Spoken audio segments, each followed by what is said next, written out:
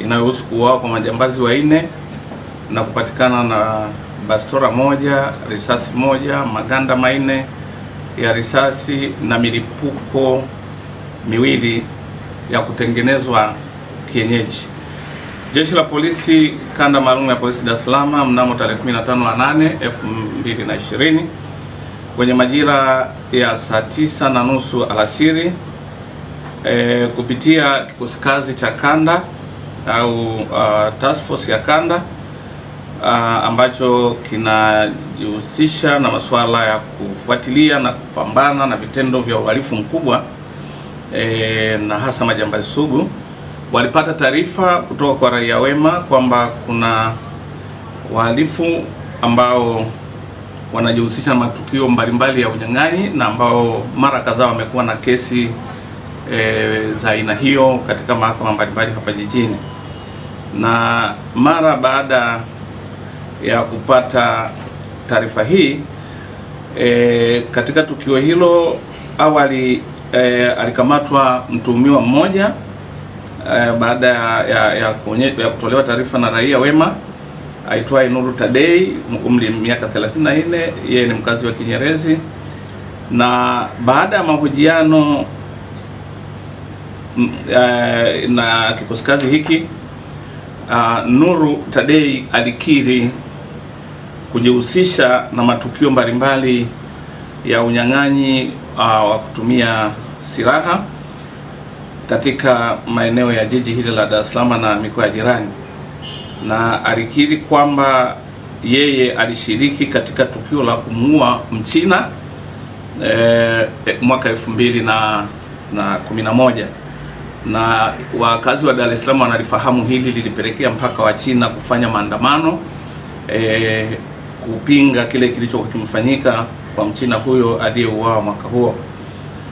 E, na baadaye alieleza jinsi alivyoachiwa huru kutoka gerezani mwaka 2017 na na mara baada ya kutoka jera walijiunga uh, na wenzake wa wengine ambao walikuwa pamoja gerezani na kuanza kufanya vitendo vya ujambazi hapa jijini.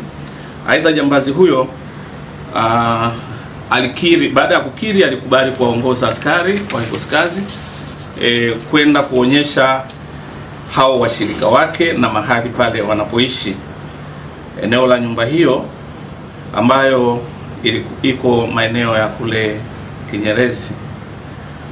Majambazi wengine watatu walipokuwa wamesogea karibu na ile nyumba, walianza kurusha risasi kutaka kuwashambulia askari na kilichowafanya washtuke kwamba wanafuatwa ni huyu Tadei uh, Nuru Tadei ambaye alitoka mikononi mwa askari na kuanza kukimbia akipiga mayowe kuwaita wenzake ili waweze uh, kumsaidia.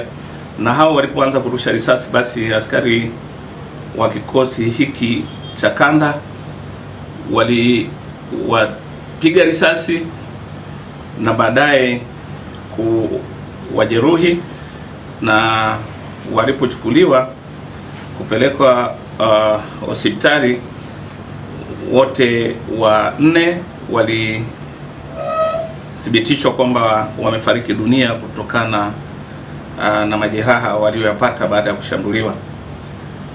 Aidha, watu mbalimbali wamekuwa mashuhuda wa namna ambavyo wahusika hawa wamekuwa na tabia mbaya pale Kinyerezi kwenye nyumba yao hiyo ambayo huwa haifunguliwi na hata mtu akibisha hodi huwa si rahisi, lakini wameelezea kama mtakavyowasikia, kila mmoja akielezea jinsi ambavyo watu hawa walikuwa kero kubwa, lakini ilikuwa ni tishio kwa usalama wa majirani na watu wengine wa eneo hilo.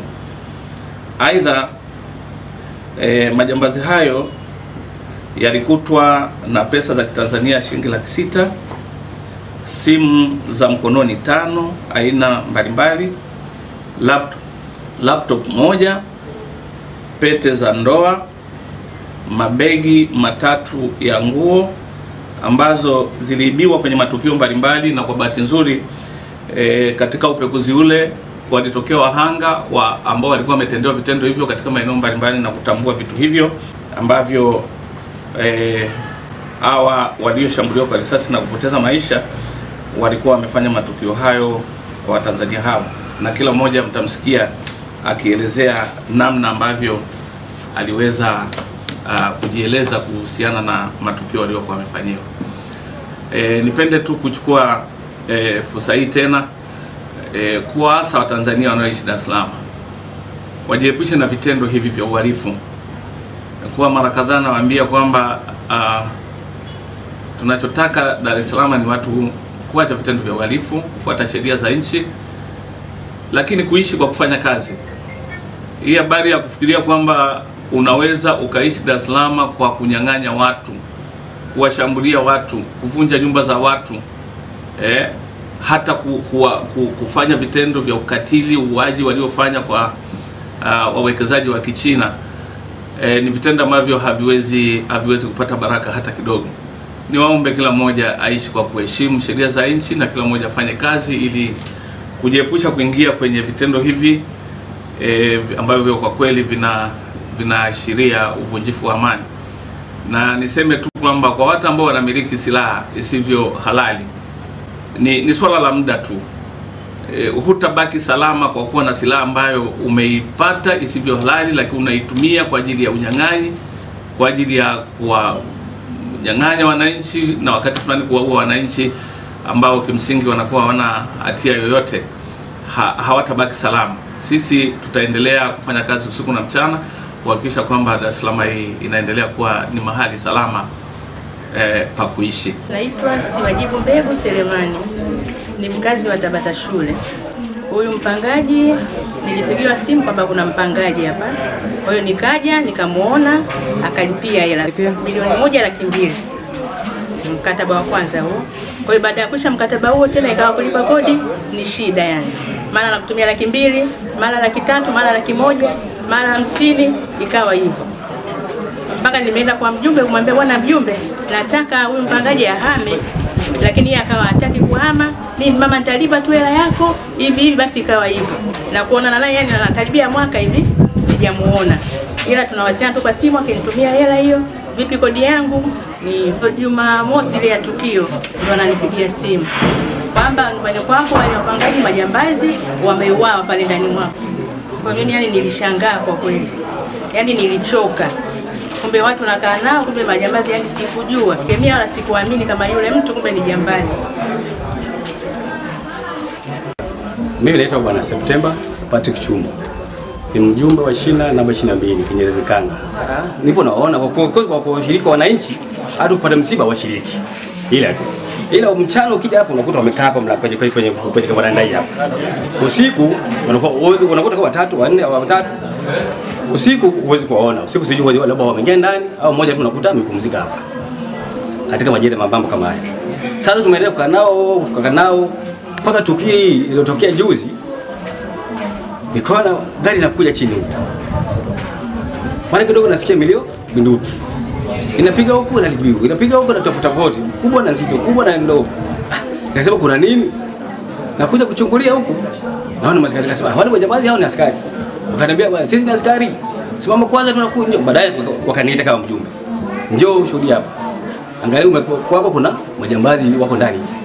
Baadaye wakatoa bastola, kuna bastola original, wakatoa na basola feki na bomu zile za kutega, zile bomu za kawaida kutega mbili. Nasema muona, sema da, hata mimi kwa sijui.